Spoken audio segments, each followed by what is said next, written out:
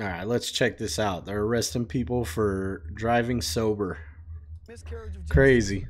Sober drivers charged with DUIs are reacting in shock to what WSMV4 investigates. That's has sane. Insane. Tonight. Good evening. I'm 600? I'm Tracy Kornet. And I'm Marius Payton. As part of our sobering problem investigation, we've analyzed never before Sobering problem investigation. Seen What does that mean? Data. Chief investigative reporter Jeremy Finley found more than 600 Tennesseans have been arrested for DUI and were completely sober.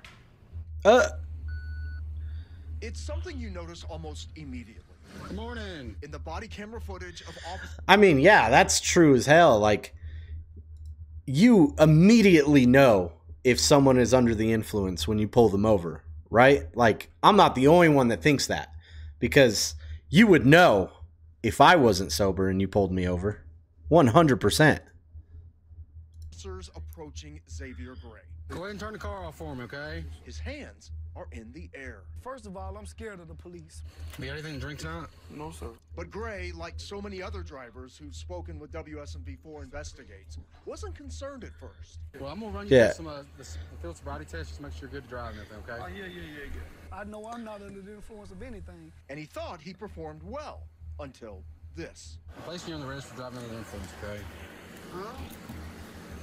I don't know. Chat, does he seem under the influence? He doesn't to me, not really. He's not doing anything like out of the ordinary. I mean, when I get pulled over, I get kind of sketched out too. It's you know. I don't need to drink or anything. It's. I, work for a living driving a, a dump truck. And this is what I do. This is my whole livelihood. I was really afraid about losing my license. Gray is the And that that would happen. That would 100% happen if you actually had a DUI, you would lose your license to drive that dump truck. latest person we found to be charged with a DUI whose blood work would come back showing he was completely sober. For months, we've been emailing back and forth with the TBI, asking for blood work data that shows just how often it's happening in Tennessee. And it turns out we weren't the only ones asking. I mean, first of all, like if you're getting arrested for a DUI and you know you're not drunk, the first thing you need to do is tell them, "Hey, take me to the hospital so I can get a blood test." Right? Especially if you know you can pass it. Right? You you have to do that. You can't just go with it, you know what I mean? Seeing the news stories that you all did. State Representative Lowell Russell had seen our sobering problems investigations, and after one of his constituents was arrested for a DUI while he was completely sober, he asked the TBI for the data as well. After months Good. of requests, the TBI finally produced the data. Turns out it wasn't dozens, but more than 600 Tennesseans. 600 That's crazy. Guys, that is insane. 600 people they arrested that were sober. Innocent drivers. That's 600 lives that could be affected by this, you know? totally sober, Not cool. charged with DUI. For perspective, if all of the sober drivers charged with DUI went to the Ryman, they would take up more than half of the seats in the upper balcony. Jeez. think about that? It's a lot of It's a people. miscarriage of justice. It seems like they're doing it everywhere around the, around Tennessee, man. Nobody wants drunk drivers on the road ever. Of- Agreed. What does it say that we keep finding sober people being arrested for DUI? I have heard of those on a very, very limited scale, and those are, of course, tragic for everyone involved. More than tragic. That lets drivers like Gray know he is hardly alone.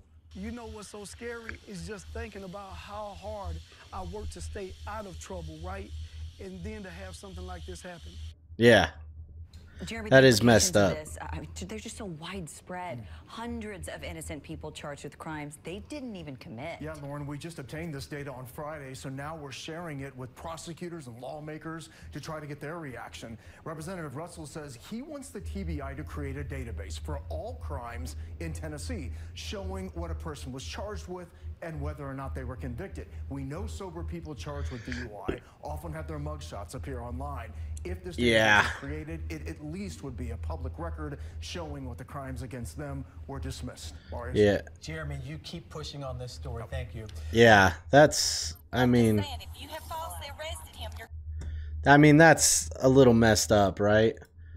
Like they're they're arresting these people for being sober, and you you know when someone is under the influence. It doesn't matter what they're under the influence of. You know. You know, there's no denying when someone is under the influence. Like it's it's just insane that 600 people got arrested, right? For driving sober. That's insane. You know, we obviously don't want people drinking and driving. It's tragic. Bad things have happened. I know people who've been hurt from it. I know people affected by it. So, you know, it is a serious subject, but you have to have that line. Like, you have to know with a reasonable doubt that that person is drunk or sober. I mean, come on, actions. Look at them. See if they're moving a lot. Are they flailing? They're probably on different drugs. You know, like if they're slurring their words, they're obviously drunk. If they're looking down a lot, not making direct eye contact, they're probably drunk. Whatever, you know. Uh, you can't win them all. Cops can't catch everything, so it is what it is. But thought it was pretty interesting to take a look at. What do you think? Leave it in the comments below. Thank you.